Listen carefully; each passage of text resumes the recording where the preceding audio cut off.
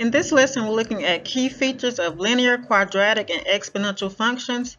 Um, this lesson is intended for students who've taken algebra and geometry and who are getting ready to go into Algebra 2. So this is just a, a readiness for Algebra 2 lesson, and we're going to uh, I'm going to give you an overview of linear, quadratic, and exponential functions. So let's get started.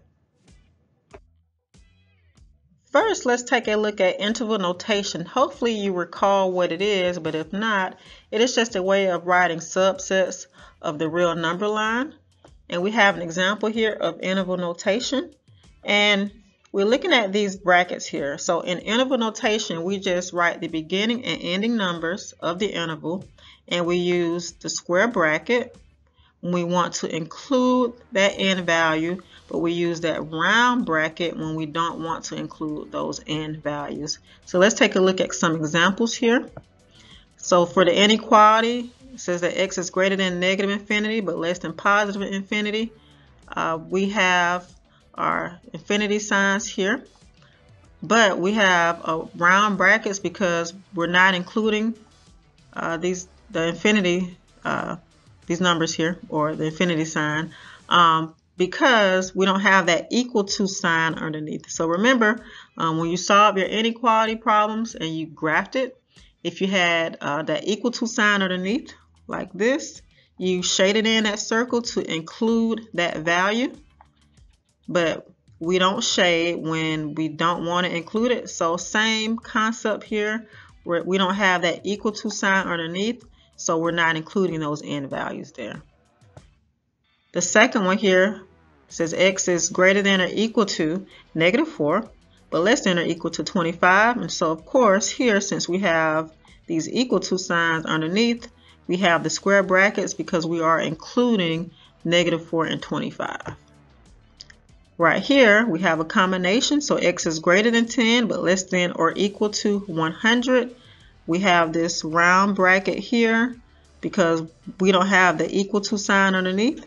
But we have the closed bracket here because we do have that equal to sign underneath. And so we could have a combination of both, one that includes and one that does not include. And the last one we have here, x is greater than or equal to negative 15 but less than infinity. So again, including that negative 15 here. Um, but it is uh, less than or equal to uh, positive infinity. We're not including pos positive infinity, and so of course it will just stop at zero. So that is why um, we have this zero here because we're not including um, the positive infinity. And here we have the first type of function we're going to look at is the linear function and that this is an equation in what form. Hopefully you recall what form this is in or what formula this is. This is slope intercept and so we have y equals mx plus b. What does that m stand for? Well, the m stands for your slope. It is the change in your y value over the change in your x. If you have uh, the graph or if you have your uh, your two points. So with the graph, you would use rise over run. You would just count those spaces there. But if you had a graph, you would uh, pick have the pick, ha have those ordered pairs there, and then you would uh, plug in for x1, y1, and x2, y2. Remember, x1 and y1 are the coordinates for for that first point, and x2, y2 are the coordinates for that second point there. So now looking at B, Remember, what does that B stand for? Well, it is the y-intercept, which is where that graph crosses the y-axis. Now let's take a look at the line of a, or the graph of a linear function, which is a line. And so first, let's look at this x-intercept here. This is where that graph crosses the x-axis. And so of course, uh, this is at the ordered pair negative to zero. But of course, if it's the x-intercept, your y value would be 0. Next, we're looking at the y-intercept right here. This is where the graph crosses the y-axis, and so your x value for the ordered pair would be 0. And then we're looking at the slope, which is your change in y over your change in x. And so if you have a graph, you know, you could just count the spaces, picking two points on that graph. Um, I like to start at the point closest to the left. Um, we can count um, up 1, 2, so our rise is 2. We can count over 1, 2, so our run is 2. And so the slope here would be 1. And if you notice, you can add, also count back or uh, to the right and up as well. But either way, you're going to get a 1 for your slope here. So let's take a look at this graph here. We want to answer the following questions. It says, what is the y-intercept? Well, the y-intercept is right here on this point here, and that is the point 0, negative 6, because that is on the y-axis. What is the x-intercept? It is right here. That is at the point 4, 0. So again, you have 0 for your your x value if you have your y-intercept and 0 for your y value if you have your x-intercept. Now we want to find the slope. I like to pick two points that are close to each other and make sure you pick points that are on the intersections of your grids there. So I couldn't like pick this one here. Alright, and then I'm just going to count my spaces. I like to start the point closest to the left. So I count up, one, two, three my rise is 3. And then to the right, 1, 2. So my rise is 3, my run is 2. So my slope is 3 over 2. Um, you could also go to the right and up. Either way, you will get the same uh, rise and run. Uh, the next one, what is the domain of the function? If you have a line, so this is understood that it is, this is continuous because it doesn't have endpoints here. The domain is all real numbers, and you can see we have that as an inequality and interval notation there. And then the last one here, it says, is the function increasing or decreasing from 0 to 3? And so that is increasing because that graph, we read up, well, we read from left to right. This graph is going um, up from left to right. And so it is increasing. And if we look from 0 to 3, right here, that graph is going up or it is increasing. So let's analyze this linear function using a table. Hopefully you recall this information. So this is again just a review. So what is the y-intercept? Again, uh, that is where your x value would have to be 0. We don't have any x values of 0 up here, right? But we have a 1, and so if we're counting down, right? So if we look at this, the trend here, the point here would be 0. So what will my y value be? Well, if we look at from 4 to 3, because we counted down 1 for our x, look at the pattern here. It goes from negative 9 to negative 6, and so my y value went up by 3. And so my y value from when x is 0 would be 3. So that is my x-intercept of 0, 3. Now, the next one, it says, what is the x-intercept? Again, your y value would have to be 0. So that would be right here. All right, so 1, 0. What is the slope? Um, you could do your x2 minus x1, like pick two ordered pairs, right, and plug it in.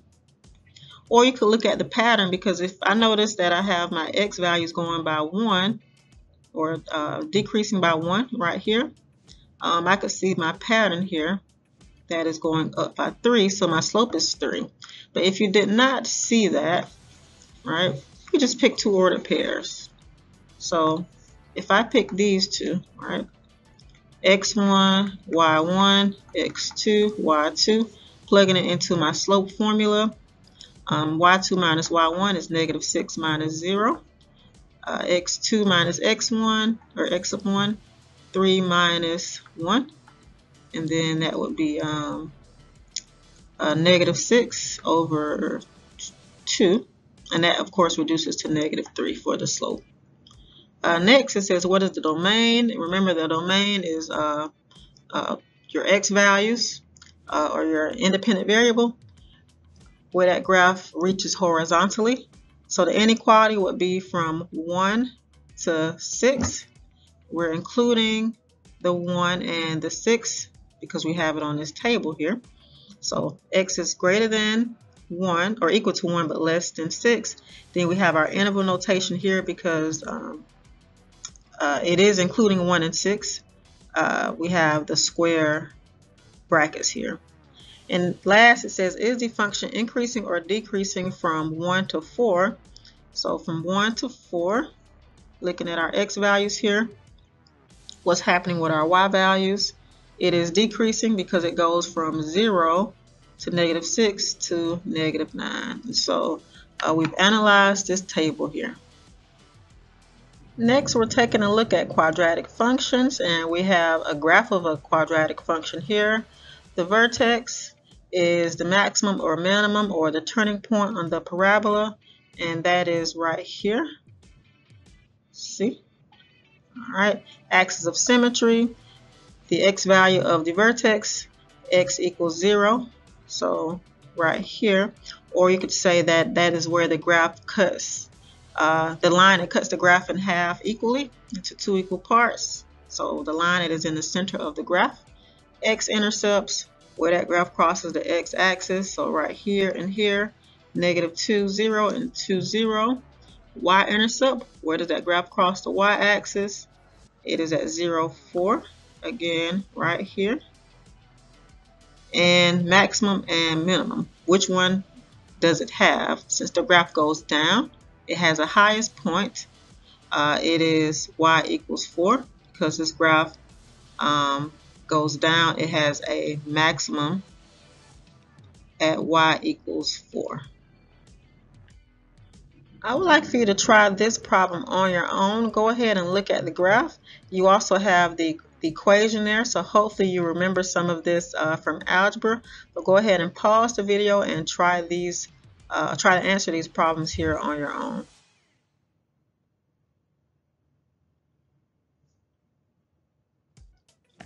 All right, so you have the answers here.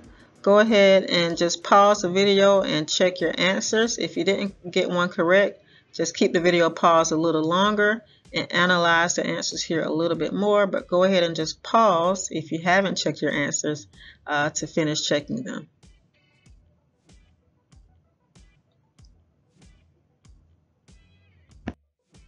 So now let's take a look at quadratic functions on a table. And again, we want to identify the key features.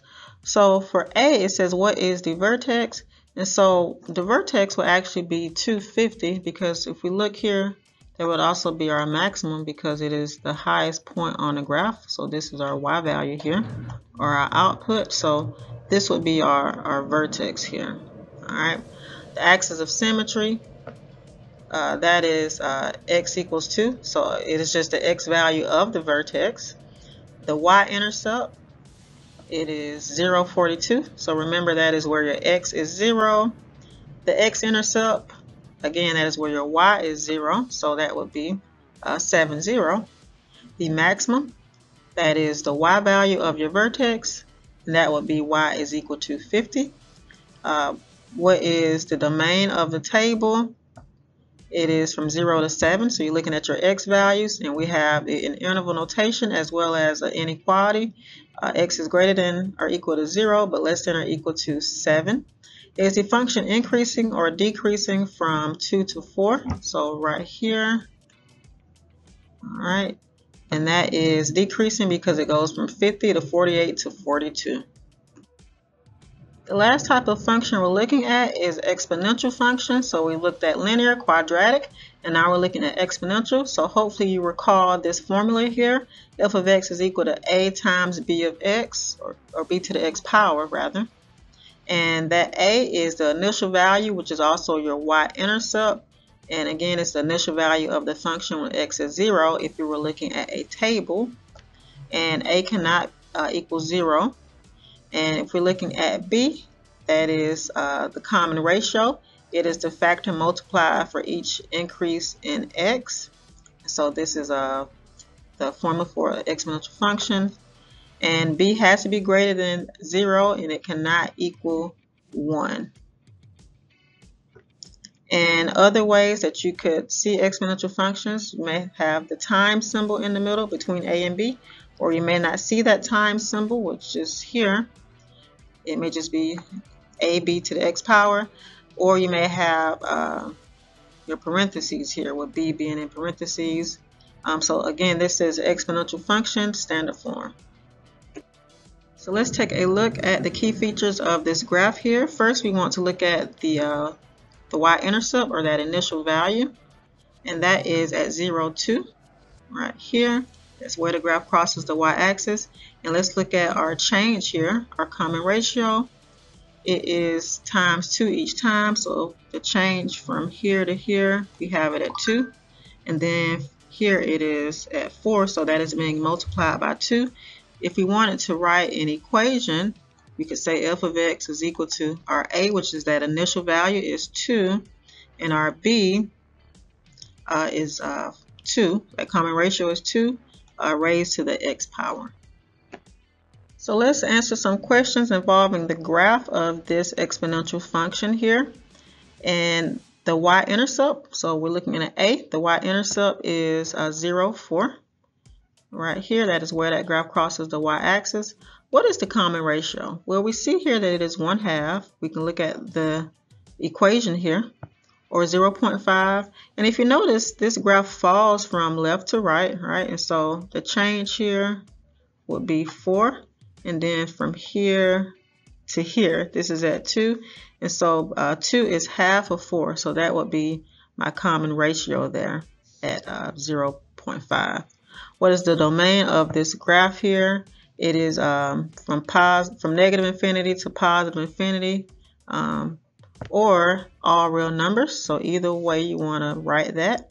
And D, it says, is the function increasing or increase or decreasing from 0 to 2? So from this interval right here, and that is, of course, decreasing. It is going down from 0 to 2. And the last example we want to look at is analyzing this table here of an exponential function. What is the y-intercept? Well, it is uh, 0, negative 2 because our x value is 0. So that would be our y-intercept. What is the common ratio?